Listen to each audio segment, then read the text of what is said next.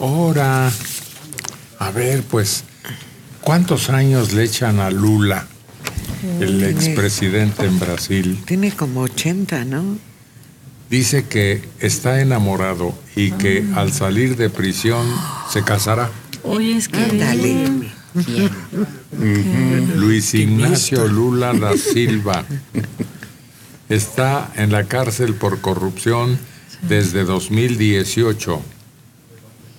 Bueno, pues que está enamorado y que si sale de prisión, lo primero que hará es casarse, dice ese hombre. Pues bien hecho como premio a su lucha contra la política, ¿no? Porque realmente no es que haya sido un delincuente, al contrario, era un hombre con una popularidad, con una simpatía general. Así es. Y el caso que le buscaron es en realidad trivial. Sí, porque sabían que podía ser un candidato muy, muy fuerte para las elecciones que en ese momento se iban a dar en Brasil y que podía ser reelegido. Entonces le buscaron ahí alguna forma, ¿no? Fue por un departamento que decían que le habían dado como pago de, sí, alguna eh, licitación, alguna facilitación de algún asunto político y de ahí lo agarraron. Pues no fue tan trivial porque sigue en el bote. Claro. Sí. Al No, final, pues es que es un de- tribunal hostil Claro. y una Suprema Corte hostil, pues claro. Quitaron a Dilma también. pero sigue en el bote. Le pudieron comprobar que tenía nexos. Él es el creador de Odebrecht. Sí, corrupción es corrupción. Ya. Un poquito Sí. menos, un poquito más, un poquito más grave es sí. Y se le demostró y la cosa es que siguieron los pasos. Y sí. Es viudo desde febrero de 2017 y pues tal vez vuelva a ser candidato, ¿eh? Mm. Una vez que cumpla su condena que sobre él pesa. Primero se casa y primero, luego candidato. ¿o ¿En qué orden? Porque hay que conseguir novia también en el Inter. No, ya la Ya la tiene. tiene. Bueno, la tiene ahorita. Ya está palabrado. ¿Quién Ah. sabe cuánto le aguante estando él en prisión? Hay un premio Nobel que tiene más edad que él y anda de coqueto. Pero él vive con ella. Sí. Él está viviendo su pasión ahorita, todo. dar. No, ese es mi visitas Yo no sé como escritor, pero como, Con la Presley. como ser humano es mi ídolo. Presley. ¿Y cómo se llama él? Ese- Mario Vargas Llosa. Ahora que lleguen a su casa, podrán ver lo que ocurrió en Allende, Nuevo León. Un clavado en una alberca, pero un clavadazo. Vacía. La jovencita confundió el freno con el acelerador y se fue a la alberca con todo y vehículo. Lupo. De modelo reciente, en una alberca, hay un grupo de jóvenes que estaban montados. Así que se publicó en redes como la jovencita que intentaba poner música dentro de la alberca se subió al vehículo, aumentó el volumen, pero se echó en reversa para acercar la camioneta y se confundió Sí. y fue a dar al agua. Ay, Pues es la azotez de algunas personas. Es común cuando están aprendiendo a manejar que confundan el acelerador con el freno. Qué bueno que le tocó en una alberca y no contra un grupo de personas, contra un muro de contención. Suele pasar. Es pérdida total. Bueno, también. Yo creí que nada más cuando mi niñez existían los robachicos, Ay, pues todavía un sujeto arrebató a una niña a su madre el pasado sábado. Se difundieron imágenes y lo localizaron en un hotel en Texas. Está acusado de secuestrar a una pequeña de ocho años que iba caminando con su madre en Fort Worth, en Texas. La pequeña fue hallada sana y salva ocho horas después. Es un hombre de 51 años. Por la fuerza se llevó a la pequeña en su automóvil, pero rápidamente se desató una cacería más que una búsqueda y por fortuna ese fue el resultado. Está detenido y la pequeña ilesa. En Nueva York, ¿sabes qué quieren hacer? Multas por escribir en el celular mientras caminas por sus avenidas. Bien. Bravo. Sí, sí, sí. Sí. Y ojalá lo copien aquí en México. Sobre todo el coche. No, mientras camina. No, mientras caminan. calle. También, Sí. pero No, en también coche es- está, es un delito, allá sí se cumple. No, y aquí ya tiene una multa de dos mil y pico de pesos, ¿eh? Si los pescan mandando mensajes. No, Sí. pues yo de ese peligro sí no tengo. Ya dejé de por vida el celular y cuando quiero comunicarme con alguien, a la, a, a la antigüita, no hay más. Una paloma. Sí, de la paz. Pero, pero no despiertas y anotas algunas veces ideas o sueños. No, no, porque esto es, esto lo hacía, pero en la mañana ya no me servía. Lo que les decía antes, lo que sentía lleno de magia cuando lo concebía a la una, dos de la mañana. Ya temprano en el día decía yo, vaya, ¿esto ¿Qué es qué? esto? ¿Qué, ¿Quién es qué hice? ¿Por qué? Entonces ya no servía, pero, pero eso todavía era una idea romántica de la escuela romántica, eh, de muchos escritores, sobre todo poetas.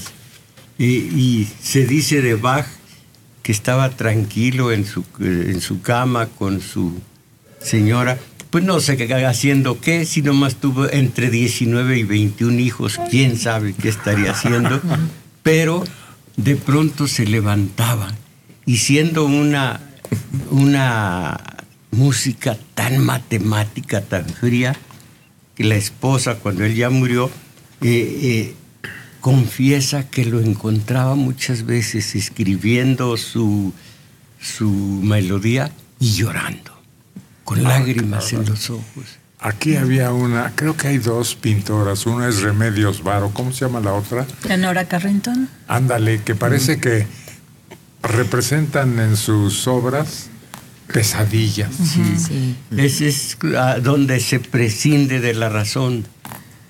Y, pero sobre todo Remedios Varo. Ah, qué, sí. qué bonitos, qué hermosura de ideas plasmadas en aquellos cuadros. Hay una muy menor en ese sentido, Leticia Tarragó, pero muy dulce en sus obras. Ella vivió, vivía aquí y se fue a vivir a Jalapa. Entonces, eh, ahí está donde se prescinde de la razón y salen unas cosas tan hermosas como aquella hermosa sombra que va caminando y en el suelo va arrastrándose con ella el individuo. El individuo es la sombra y viceversa. Hay una película que me ensombreció la existencia. Es la vida, la historia de un coreógrafo. Y él está en su lecho de fase terminal, pero imaginando, ideando. ¿Cómo se llama ese Es coreógrafo? Bob Fosse. Bob Fosse, Ese. Bob Fosse. que es el creador de todo el estilo Fosse, que se utiliza mucho y lo podemos ver y lo vamos a poder ver pronto en esta obra Chicago. Ese tipo de baile lo creó él. Pero es que esa historia es como entre deprimente y genial.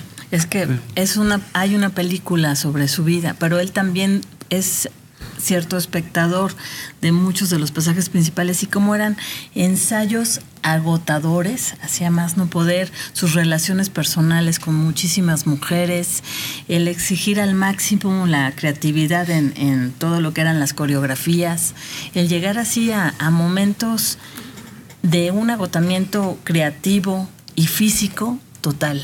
Pero sus aficiones Ah, pues sí. personales. Sí, era intenso en todo. Yo prefiero la coreografía de los matachines. Tienen, tienen también su gracia y no deprimen. Y aquí entre nos no sé qué, qué, cómo bailen los matachines. Pero sí la de los viejitos. esa es- Ah, lo de los viejitos. Eh, eh, eh, he visto unas, unas, unos videos en donde pues sí el viejito aparece exactamente un ancianito y de pronto se suelta bailando. Son, son bailarines jóvenes todos. Se suelta con unas cabriolas que digo, ay viejo, ¿cómo lo hiciste? ¿Será posible? Un hombre traía su detector de metales y andaba por lugares en donde afirman que hay oro, en Australia Occidental. Pues lo certificó. Desenterró una pepita de ese metal precioso de un kilo 400 gramos valorada en 61 mil euros, según los lugareños. ¿Será posible? Pues sí, toda la vida, toda la vida haciendo lo mismo, haciendo lo mismo. Tarde o temprano encuentra ahí hay oro. Aquí un señor que se dedicaba a el dueño de un de un panteón que está aquí por por ¿Constituyentes? no, No. Eh, este señor eh, una una Claro. vía que da al al metro en, en su origen a, la- a- a la ONU. A la ONU. A la ONU. A la ONU. Eh, el Eh, El, el taxista como que me dejó impresionado. Y- porque nos vinimos por la ONU. Está pensando en los nietos. en la an- en la anda Anda. Anda tú. ¿Dónde hay oro? en la universidad la la la avenida que da a la universidad ahí hay un panteón Avenida Universidad. O insurgentes. Avenida Cuauhtémoc. no no no es acá po- por el lado del, del periférico bueno este señor se dedica a buscar metales y me dijo es a, a buscar oro y, y cosas antiguas al entrar en su oficina aquello es como un pequeño museo desde Cristos antiguos y demás y dice he comprado todo lo que usted sabe a base de de mi detector de metales, que es una efectividad, y me empezó a contar todo lo que había eh, logrado con ese aparato. Así que sí, hay algunos que, que tienen suerte y encuentran, eh, encuentran esa, esa fortuna. Como les digo, cerquita de la ONU está la oficina. y en, en las playas es donde hacen su agosto. Porque andan buscando donde estuvieron sentados los turistas. Encuentran Rolexes y anillos y todo, todo, todo tipo de joyas. Y yo alguna vez perdí un reloj ahí en una zona de esas. Claro, no lo hallé, pero eh, ahí es donde encuentran toda la fortuna que hacen. Pero en Australia cada semana se encuentran alguna pepita de oro. La semana pasada alguien se tropezó. Un y niño. También un niño y, ta- y se cayó. Y ya cuando se dio cuenta con que se había tropezado, era también otra pepita, o será otra grande. una roca y una pieza grande de oro.